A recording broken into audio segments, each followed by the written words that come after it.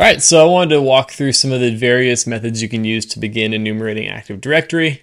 Active Directory is a technology and system that is loved and hated by penetration testers and security folk alike. Um, there's a, a, whole suite of abuse mechanisms that have been published throughout the years targeting it, and it continues to just be a really great area of research um, and a really high value target for both adversaries and operators like myself. So there's a couple of different methods and a, a really wide breadth of tool sets that target it. Um, we're going to go through three, um, two of them being somewhat smaller and then one being the gargantuan beast that is Bloodhound, um, which we will get into. So let's start with the first one, which in this case is a tool called LDAP Domain Dump. This was written by Dirk-jan, and it actually is included within NTLM Relay. So if you ever have run NTLM Relay and targeted an LDAP service, this is actually the tool that runs under the hood whenever you authenticate. And it's super cool. It is installed by default on Kali, so you can access it just by running LDAP domain dump, and then TAC H will give you some of the output. I will go ahead and run it with the following arguments in my lab environment. So I'll give it dash U with my test user, the test user's password, the authentication type, a name server, and then the uh, fully qualified domain name of the domain controller in my, in my lab environment. So let's go ahead and run that. And you can see that there's some limited output. And if we check our directory, there is a ton of different files that get thrown into the current working directory. So if we open up our file explorer and take a look at these, um, this is where LDAP domain dump comes in super handy. I usually use this in addition to tools like Bloodhound, which we'll talk about in just a quick second, um, because the information is very concise, it's easily digestible, and it's super, super handy, um, not only from a penetration testing perspective, but also just for general security auditing and taking a look at security settings within a domain. So I'll go ahead and open up domainusers.html. There's also JSON output and greppable output, but I generally just like using the HTML documents. Once we open that up, you'll see that there's limited output just because this is a test environment. In a real environment, this is a very, very, very long list, but there is some information that's extremely useful, um, like I said, contained within this output. So you can see um, the names of the different accounts, the SAM account names, group membership, primary group, some information on when the identities were created and when they last were logged on to, um, the password flags column is super cool. I've actually found a lot of really interesting um, stuff contained within this column where um, maybe a account has the don't require pre-authentication, which means it's AS-REP roastable setting. Um, maybe there is passwd not required, which essentially bypasses any password policy that's set in the domain. And then probably the most interesting aspect is this description field. So sometimes in environments, um, whenever a help desk um, or whoever provisions accounts creates like a service account or a temporary account, sometimes they'll actually put the password for those accounts in this description field um, as just a means of remembering it, I guess. So that is sometimes super valuable from a penetration tester's perspective because it is instant um, lateral movement, right? Instant access to another identity outside of the one you use to run this command. And uh, yeah, it's super useful. So that's LDAP domain dump. I don't have time to really go through every single bit and piece of the output, but it is super useful. I'll leave that to your own tinkering. We're going to go ahead and move on to Bloodhound. So if you're not familiar with Bloodhound, it is a graphing toolset that takes generated graph data from Active Directory and maps it for you. So there's a awesome graphical user interface that comes with it, and it basically paints attack paths and misconfigurations for you um, using a variety of tool sets. Um, the tool itself is super deep and honestly deserves its entire own video. You could probably make a one week course on just using Bloodhound if you wanted to. So I'll just highlight the functionality um, that it provides um, to begin using it, you do need information to ingest into the toolset. So what I'll do is I will go ahead and set up a Python virtual environment so we can run the bloodhound bloodhound.py bloodhound-python script. So again, this was also written by Dirk-jan. He uh, maintains this, and what this will do is basically query the domain uh, over a, a, series of LDAP queries to gather information that's compatible with Bloodhound. So if we run that, you can see it connects to the domain controller that we specified.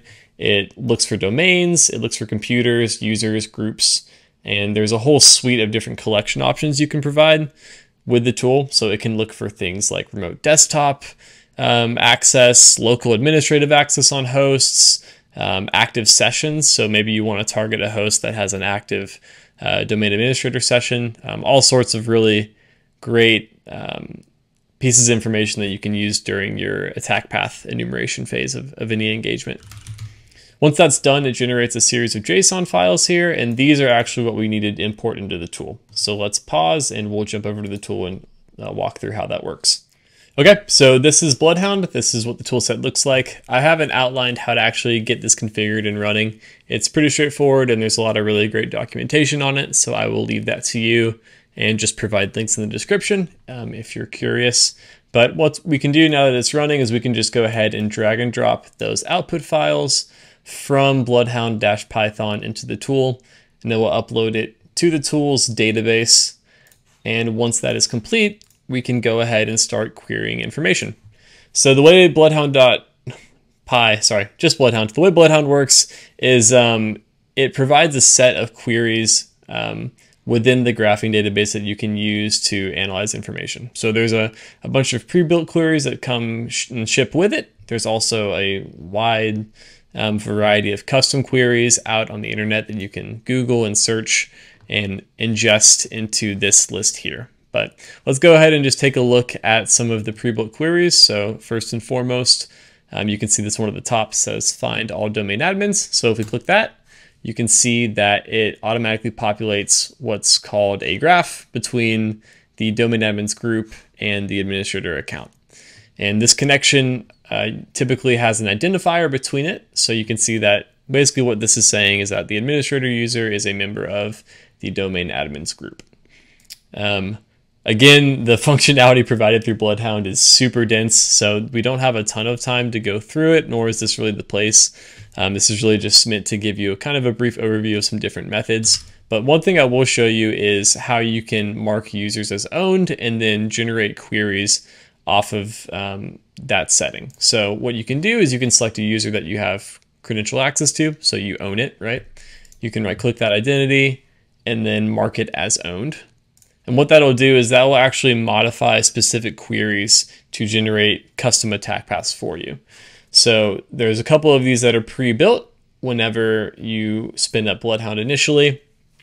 You can see shortest path um, from owned principals. You can see shortest path to domain admins from owned principals. This will likely be null just because of the um, minimal amount of data that's in my environment, but within a real environment, this is a super great way to identify attack paths that are um, endemic to an environment, right? So things like default users possessing certain configurations that could lead to domain admin access or persistent access across a series of systems. And uh, yeah, that's pretty much a brief overview of Bloodhound. Again, this does deserve a separate video with much more detail, um, and that's definitely warranted and planned for the future. But as far as Active Directory enumeration goes, Bloodhound is the the magnum opus. It is the go-to tool. I think I haven't met a penetration tester or red team operator that doesn't love it. And uh, yeah, shout out to all the SpecterOps guys for keeping it free and just making one of the most useful tools I think I've ever used. All right, so last but not least, I did want to give a shout out to a tool set that I think is uh, severely slept on, and that is GetADUsers.py. So this is included within Impacket. I think it's been around for quite a while at, at this point. Um, it is kind of overshadowed by things like Bloodhound and maybe LDAP domain dump and probably some other custom enumeration scripts that I'm just not aware of. But I do enjoy using this one from time to time just because it is concise and simple. Um, it does follow the standard Impacket output. So if you ever have used any of the scripts from that library, you'll notice that the syntax is similar and very consistent. Um, so we will give it a domain controller IP. we will give it our credentials for the Bob account. And then one flag that we do need to add is the dash all. So it'll simply request and query information for every single user uh, in the domain. And then once we run that, it will print out some very nice, concise information, very similar to LDAP domain dump with kind of columns. And you can see a user's name, the last time their password was set, and their last logon. So just a nice little last tool set that might be handy just to have in your back pocket if you're in a pinch, or maybe you have limited tooling on an engagement. So that concludes a couple of different uh, various ways you could go about enumerating Active Directory. Again, you could probably teach a one week course on different ways to enumerate um, attack paths and how to exploit them for Active Directory. I know there's obviously like mini courses on that, but the, uh, the purpose of this was really just to kind of give a brief overview of how penetration testers and adversaries go about gathering information um, about the, the software solution, right? Since it's such a uh, prevalent and highly targeted uh, software suite and super common, um, it is, yeah, makes a lot of news and gets a lot of attention and for good reason. So hopefully this was informative. And uh, yeah, if you have any questions, feel free to hit any of us up at risk3sixty and the Renegade Labs team. We, uh, we love Active Directory and we, we do love Bloodhound.